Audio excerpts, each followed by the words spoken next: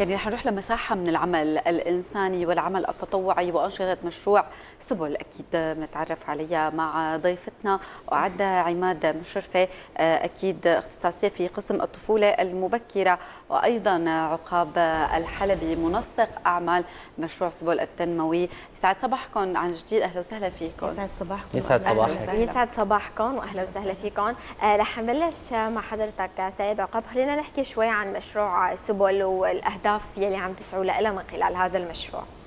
مشروع سبل التنموي اليوم بعد ما اختصاصه الأساسي هو الطفل والهدف الرئيسي اللي بنشتغل عليه هو الطفل. فاليوم صار في عندنا فرز أكبر يعني صار في عندنا مشاريع أوسع للطفولة. بعيدا عن الخدمات اللي بيقدمها المشروع من خدمات الدعم النفسي التدريبي و و و. بالإضافة لخدمات الدمج الاجتماعي لأطفال الفئات الخاصة وأطفال الطبيعيين إذا بدنا نصنفهم بهذه الطريقة. آه حيكون في عندي بهذه الصيف مشروع ونادي صيفي اللي يخص أطفال الفئات الخاصة يتضمن أنشطة دمج اجتماعي آه بمعنى خارج عمل المركز خارج عمل المنزل خارج الشيء التقليدي اللي متعود عليه الطفل. اليوم صار في عندي آه خروج لأماكن برا خارجية من متاحف وطنية حديقة حيوان حدائق عامة مسابح إلى ما هنالك مراعاة للشروط الصحية لكل طفل مع الأمور العامة يلي تجنبا لأي عدوى أو أي فيروس لا سمح الله. بالإضافة لهيك عم بيكون في عندنا ضمن آه شيء تخصصنا فيه هي المراقبة الجديدة ضمن مشروع الطفولة المبكرة للطفل من عمر السنة حتى خمس سنوات. الأمهات أحيانا بيكون طفلهم عنده خلل ما عم يقدروا يشخصوا أو ما عم يكتشفوا. يلا بكرة بيحكي أعطيه بيض الفري أعطيه مية الرز أعطيه هي الأشياء. لا في شيء علمي اليوم مثبت. بنقدر نحن نشوف طفلنا. وهي هدف المشروع الطفوله المبكره هو اكتشاف. أي خلل نمائي عند الطفل ممكن يتعرض له صح. بعد ما يتع... يدخل قبل ما يدخل مرحلة رياض الأطفال. نعم. رح ننتقل لك وعد لنعرف هلأ كل اللي عم يتابعنا عن قسم الطفولة المبكرة. شو هو قسم الطفولة المبكرة؟ وبيبلش بأي عمر؟ آه قسم الطفولة المبكرة ببلش من عمر سنة لحتى الخمس سنوات. آه نحن كثير عندنا أطفال عانوا من مشكلات خلال أزمة الحرب. صحيح.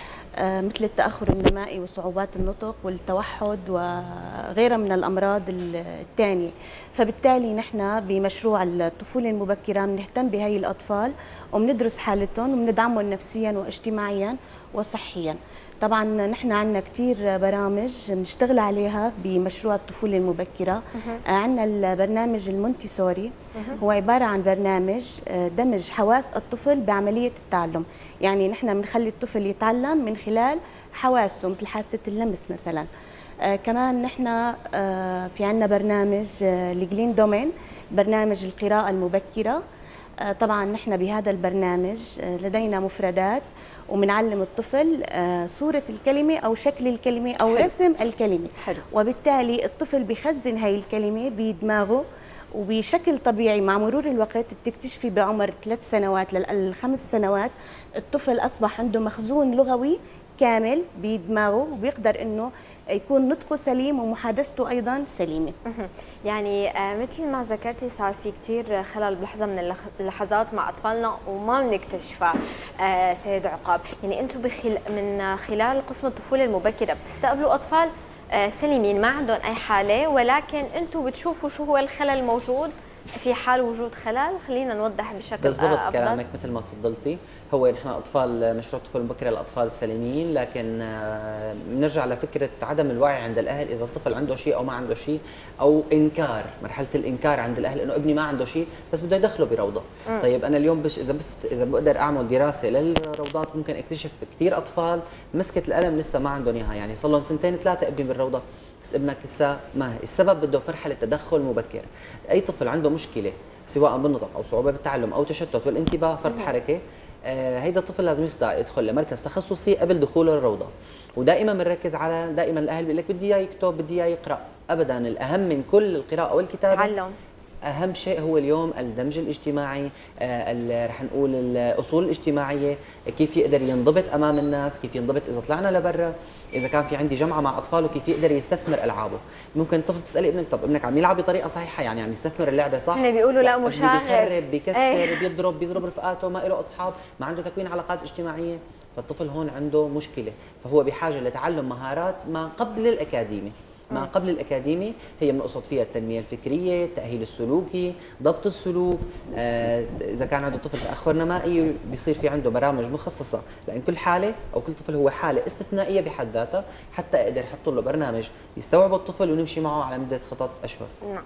نعم يعني كثير من الأمور بتركزوا عليها ضمن آه، خلينا نقول هذا المشروع يلي يعنى بالأطفال. ومثل ما بنعرف الأطفال هم آه، خلينا نقول العناصر أو المخلوقات الحساسة شوي يلي ممكن تتأثر بالمحيط وهي من أشد وأذكى يعني آه، بيلقطوا فورا. قديش كمان آه، بدهم عناية بدهم طريقة بالتعامل. قديش لازم يكون في تعاون بينكم وبين الأهل بالبيت لتكمل العملية يعني لنوصل لنتيجة. وعد تحكي لنا أيضا عن عن تواصلك مع الأهالي. إيه طبعا أنا من خلال العمل بمشروع الطفولة المبكرة نحن لما بيجينا طفل نعمل على دراسة حالته وبالتالي نحن بنتواصل مع الأهل ونبلش نشتغل معه للطفل. بنهتم كثير بذاكرته البصرية والسمعية. آه كمان آه نحن بنهتم فيه آه من ناحية الصحة النفسية لأنه أكثر من الصحة الطبية أو العضوية.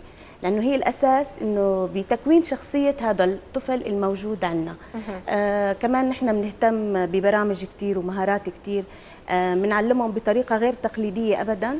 وال وبمعنى إنه تحاولوا تكونوا يمكن أكيد بكل إيه. التفاصيل صحيح. أيوه نهتم بشخصية الطفل كشخصية نعم. يعني نعم. ونهتم بدعمه النفسي أهم من يعني أكثر نعم. من دعمه نعم. الصحي نعم. يعني في حال تم وجود خلل عند طفل من هذول الأطفال يلي مشاركين رح يكونوا معكم بهي الدورات شو هي الخطوة التالية هلا الخطوة التالية بالإضافة لمشروع ضمن القسم الطفولة المبكرة بعيدا عن هي الخدمات كلها في عندي هي تعليم اللغات ومهارات الحساب. آه وبرامج تفكير مهارات التفكير بمعنى حل المشكلات. يعني الطفل اليوم إذا ممكن وقع شيء من إيده فهو ما عرف يلمه فهون أنا بعتبرها مشكلة, مشكلة. ما عرف يعالج هي المشكلة. يعني هي شيء تلقائي الطفل الطبيعي اللي تتطور نمائيا. ضمن خطوات مدروسة أو ضمن بيئة صحيحة رح نقول فهو المفروض يعالج هذه المشكلة. إذا ما عالجها فايضا بيكون عندي خلل من نحن بنعرف إنه الطفل آه، بيبدأ التكوين الشخصي تبعه أو التكوين النفسي تبعه من عم من مرحله من عمر يوم. يعني لما ببلش أو من مرحلة جنينية. بعض الدراسات تقول من المرحلة الجنينيه هون ببلش الطفل يسمع فببلش يكون.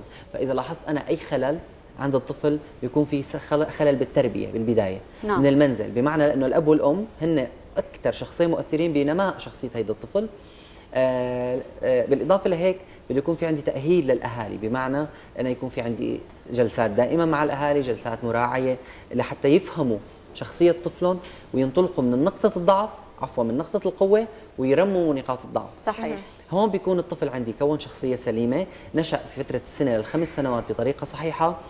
آه قدر يكون مهارات أفضل بعيدا عن الاكتساب الإعلامي أو الإدمان الرقمي يلي منتشر بين كل الأطفال. عمر السنة اليوم الطفل بتلاقي أول شيء بيلفته الألوان الزوايا الشخصيات الكرتونية. صحيح. فببلش الطفل يكتسب من التلفزيون للأسف ويتكلم بالفصحى ويتكلم باللغة الفصحى. طب ما أنت عم تحكي مثلي مثلك شو السبب؟ لا ببلش يقلد التلفزيون. هون مهارات التقليد الأعمى بنسميها. نعم. يعني كمان آه، مثل ما حكى الأستاذ عقاب دائما نحن لازم آه، نكتشف نقاط الضعف آه، للطفل لنقدر نحن نتجاوزها خلينا نقول ونحولها لنقاط قوة. خلينا نحكي عن البرنامج اللي بتحطوه دائما وكل طفل له خصوصية بالتعامل. في أطفال خلينا نقول حركين شوي في فرط نشاط عندهم في أشخاص في أطفال بيعدوا لحالهم. قديش مثل ما حكيتي مهم عمليه دمج الأطفال هول مع هدول أيضا. أي أكيد قديش الدمج هو الأساس. وبعدين نحن نلتفت للقصص الثانية. آه، في كثير من الأطفال عندهم مشكلة الخجل. فنحن يعني بنعمل على هي المشكلة إنه ندمجهم بضمن المجتمع. نعم. آه كمان عندنا أطفال عندهم توحد صعوبات نطق صحيح. تأخر نمائي. فكل طفل له دراسة معينة لحالته وبنشتغل على الحالة هي وندعمه بطريقة نفسية و آه تعليمية بعيدا عن التعليم التقليدي طبعا. إيه تماما. آه يعني عدة أمور أيضا بيتم دائما الوضع العين عليها وخاصة ميسان الأمور اللي بتخص الأطفال ومثل ما بنعرف الأطفال يعني آه، بنرجع بنقول إنه مو سهل التعامل معهم من أذكى في صعوبة يمكن بالتعامل مع الطفل ودائما في خوف إنه شو ناطرني من الطفل ويا ترى هو صدقا رح يتطور أو ما رح يتطور.